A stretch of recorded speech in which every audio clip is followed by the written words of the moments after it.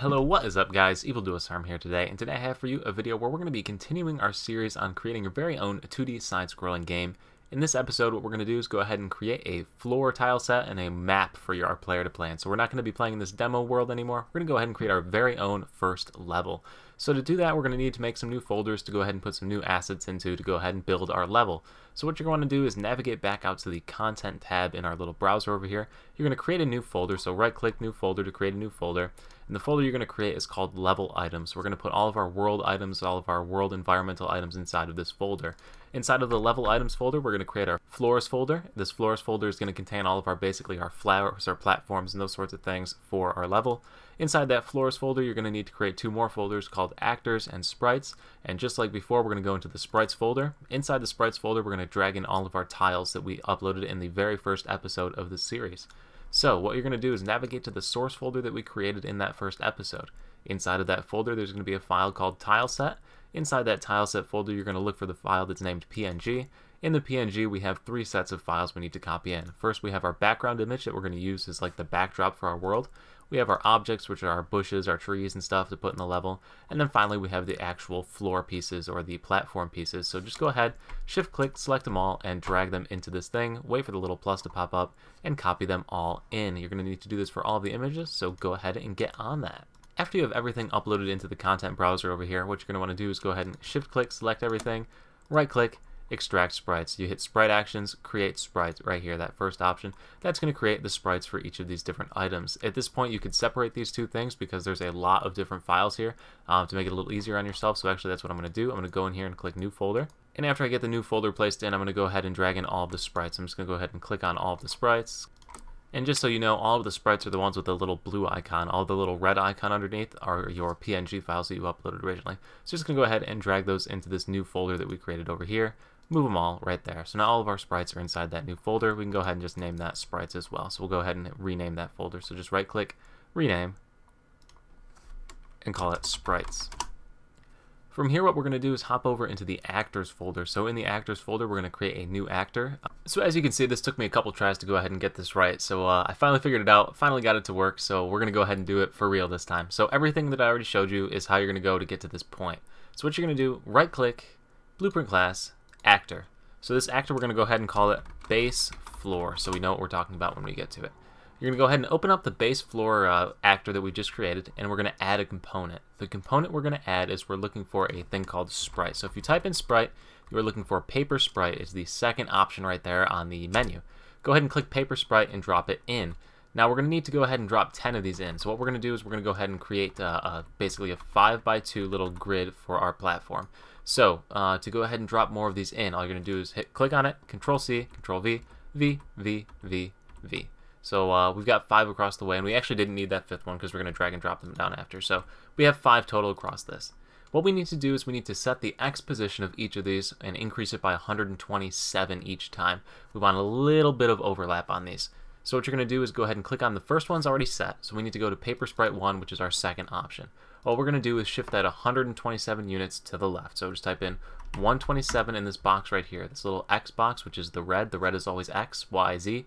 So the X value, we're making that 127. What we're going to do next is go to Paper Sprite 2, change that to one uh, to 254, 254. That's going to move that 254 over. Next one we're going to do is 381. 381 is going to move that one over. And then finally, we need to go ahead and set this to 508 for our final sprite. Okay, so all of our sprites are now located at those different distances.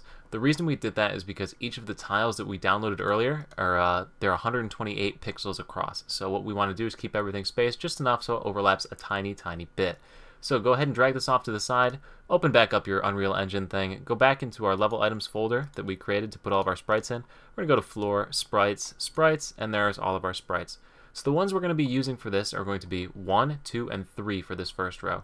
So what you're going to do is select Paper Sprite 1, this very first option right here, our first paper sprite, and drag the sprite over to this box that you see highlighted in green over here on the right. Just drag and drop the sprite into that box. Fantastic.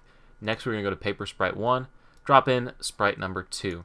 Then we're going to go to sprite number 2, drop in 2, paper sprite 3, put in number 2, and then finally paper sprite 4, we want the end piece, which is 3. So now, as you can see, we have a little platform right here on our screen over on this main viewer, and I'll go ahead and maximize that to show you a little bit better. We have our little platform ready to go. So this is our first level of our platform. We're going to go ahead and add a second level of the platform below. So what we're going to want to do is Control C, Control V each of these uh, tiles. So Control C, Control V. You do have to do this one at a time. Um, for some reason, when you do Shift All, it doesn't place them in the right location. So just go across the list and drop a, another copy of that one down. So starting back at 5 now, what we want to do is move this down 127 in the z direction. So the z direction is the blue tile over here, so we're going to type in negative 127. That's going to move a tile down 127 units. Same thing as before, we're going to go right across the list, negative 127 in the z, paper sprite 7, negative 127, all the way across uh, to go ahead and get these all set. Additionally, what you could do if you wanted to do this faster is you can click uh, each one of these. So it's 5, 6, 7, 8, and uh, 9, so all of those tiles, and we want to set them all to negative 127. So the location transform thing up here, once again, you just type in negative 127, and it'll move all of them to the negative 127 position. After you've gone ahead and do this, make sure you compile and save, drag this back over to the right, and we're going to be dropping in those tiles once again. So number 5, what we want is sprite 4. This is the left side of the, uh, of the wall here, so we're going to drop sprite 4 in there. For 6, 7, and 8, we want the middle piece, which is sprite 5, so we can control select all of those options, drag the sprite into that, and it will change that to the middle one for all of those. Finally, we want to change sprite 9 to number 6, which is the right side ending of our platform. And boom, just like that, we have our platform. So now we're going to go ahead and compile and save this and show you what it looks like in the world. So we're going to go ahead and maximize the game world, minimize this. If we went ahead and dropped this in, so to get back to this folder with it in here, we're going to want to go to the actors folder, and we want our base floor piece. It's right here. So we're going to drag this into the world, and if we drop it into the world, um, when we hop in and hit play, you will see that there's a little bit of a line down the middle. I don't know if you can make it out on the YouTube video here, but there is in fact a little line um, through the middle of the platform, and that doesn't look very good. We don't like that little line. That little line is because the sprites have a little like green thing underneath them all. So uh, to get rid of that, what we're going to do is hop back into the base floor tile, and what we want to do is we want to take this bottom row, so the uh, 5, 6, 7, 8, and 9, these sprites right here, I'll go ahead and maximize this so you can see it a little bit better. 5, 6, 7, 8, and 9, this back row, what we want to do is we want to move it out about 5 units. So to move it out of the page 5 units, what you're going to do is go to the same menu that we were just in over here, the transform, and we're going to type in the number 5. That's going to push the platform 5 units in front of us.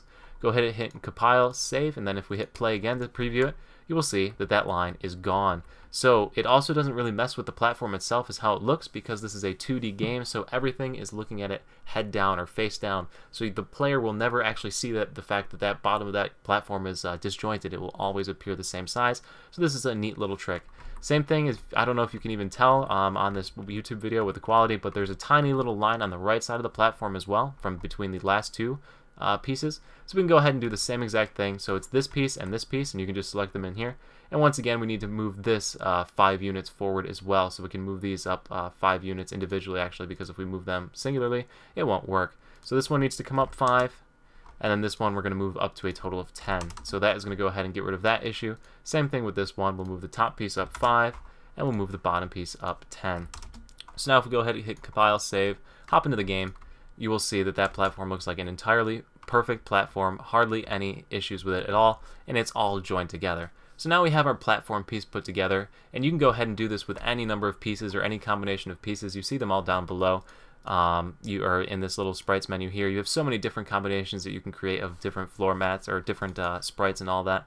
So um, go ahead and mess around with it, create little tile sets, try and make your own little level items. Um, but anyway, now what I'm going to do is show you how to create your very own level and put them into the world. So what we're going to want to do is go to uh, the content folder down here at the bottom, and we're going to create a new folder called levels. So new folder, levels. This is where we're going to store all of our levels. What we're going to do is right click, create new level. So you see this little option right here, it says level. We're going to call this level 1. You can change these to whatever you want at a later occasion. Control Shift S to save everything that we've done so far. Double click on level 1. It's going to ask you would you like to save what you're currently on. Sure, save it. This is going to take us to a completely blank and black level. So the first thing we're going to want to do is actually get that background item placed in. But before we do that, we're going to go ahead to this option that says perspective up here in the preview window. And we're going to go ahead and set that to front. So basically this is going to give us a front view. We're going to see an XY coordinate plane and we can just drop all of our level items into that plane and basically create our level without having to worry about um, misplacing in the Z direction. So this is our origin. This is our XY uh, 0, 0 origin. So we're going to build everything off of this origin. Note that our player is going to start right here until we put a player start in. So uh, it doesn't really matter because we're going to tell the player where to start as we get going. But just for now, we're going to go ahead and build off of that 0, 0 coordinate. So what we want to do is go back to our level items folder, our floors, our actors, and we want to get our floor that we just created, our base floor piece. And we're just going to go ahead and drop one of those suckers in right there on the 0, 0 axis. So when you go ahead and click on it and you click on the details panel right here um, on the on the right side over here, you'll see the location X, Y, and Z. So we're just going to set those to zero so everything's zeroed and centered and we're going to move the Z axis to zero as well. So basically what we're making sure is that everything is centered around that axis at zero, zero, zero. Fantastic. So we've got our first piece. What we're going to do now is we're going to hold down Alt and click on this red arrow right here and drag it out until we match up with this piece right here. Okay, what that did is basically just copied that same piece and let us drag it across. We can do that in any direction if we wanted to go up with it. We could do it like that. Um, actually, you're going to have to delete it after you do that. If you want to go like uh, longitudinally with it or something, or in a, in a, random direction, you can click this little button right here, this middle box, and you can move it freely anywhere in the same plane. So basically what this allows you to do is move these uh, pieces in the x and y coordinates as far as this space is considered, even though it's the x and z coordinates as far as uh, the engine is concerned. Um, x and y basically like a typical uh, graph that you did in middle school. So anyway, um, that's how you go ahead and set up these tiles. So we're just going to go ahead and create a line of these tiles. So I'm going to go ahead and click on these. And you can actually control click to select multiple and do the same thing. So you can hit the alt and then click and drag and it'll drag both of them. So if you are just making a flat period of level, you can just go ahead and drag a bunch of these off at the same time. So once we've gone ahead and put together some tiles and drawn a little flat section, what we're going to want to do is switch back into our perspective view. So go ahead and hit the perspective option. From here, you're going to see our little tile sets that we've created and uh, basically they have a little bit of an overlap issue right there because we didn't use the flat end, we used the, the cornered ends. But we can go ahead and fix that later or create a different tile piece or whatever um, at a different occasion. Right now we're just using this to show you how to do it. So if we went ahead and play now, our character's still just going to fall from nowhere because we don't have a character start actually placed into the level. So what we're going to do is switch back to the front view. So from here what we're going to do is we're going to type in the top left corner up here, player start what we want to do is just go ahead and drop that somewhere above the platform. So we'll drop it right there. Make sure that these uh, X and Y's and Z's are all set up properly. So basically that the Y axis is zero. That way it's not popping out of the page. Now if we go ahead and hit play, our character will start right on top of the uh, platform that we had gone ahead and created. So we've got it all set up. Our character is ready to go. He's got his little platforms that he can run across. Um, and we can move around. And we've basically created our first little level. Now to make this look a little bit prettier, what we're going to do is drop behind the player area or behind this little level the uh, sprite that we got from the game that had like the trees and stuff in the background. After you find the sprite that was created for the BG file, so that should be in your sprites folder, uh, I'm going to go ahead and click that and drag it into the world. From this point, what we're going to do is go ahead and scale it. So to scale it, what we need to do is switch to the, the scaling option in this. So the scale option is up here across the top. Uh, you can also just hit R on your keyboard and it'll switch to scaling as well. So you can switch uh, either way. So hit the R key or the R key and W key switches back and forth. We're going to hit the R key or click this option to go ahead and scale our object in the X and Y directions. And then we'll hit W or we can just hit the arrows up here again to go ahead and bring it and center it on this little area here. And then what we want to do is we want to move this back into the page so that it's behind these tiles that we put on the ground. So what you're going to do is you're going to make sure you have your background selected. You're going to go to this Y transform over here in the right side. And let me scroll up a little bit so it's not hidden by my webcam. You're going to go ahead and click the Y, and then what you're going to do is type in negative 3500. Uh, this is just moving it way back into the page so that it's not interfering with any of the uh, sprites on the front side, like your character or the platforms or anything like that. After you do that, it's going to go ahead and hit Save Current to save the location change the front perspective back to perspective, and hit play. And you will see we now have our first level, or the beginnings of a level. And that is basically it, guys. So at this point, what you can do is go ahead and create any flooring types that you want using these different items. I'm going to probably mess around and make a couple of different ones and show you what I ended up creating, the final product of it, um, and, and the next part of the video. But at this point, you can go ahead and create your own level. You can go ahead and run around and through, throw different things, use different mechanics, and all of that great stuff. So what we're going to cover in the next video is we're actually going to polish some of the animations. So the fact that we can still hit J and K at the same time or spam our kunai and throw them like that, even though the animation doesn't run. Um, we're going to go ahead and clean that up and make it so it's more of a polished sort of character. So anyway guys, thank you for watching. I hope you found the video useful now that you have basically your own functioning game that you've just gone ahead and created. And uh, I will see you at the next video. Thank you so much for watching. Make sure to like and subscribe to stay updated on the series. And I will see you at the next video. Peace.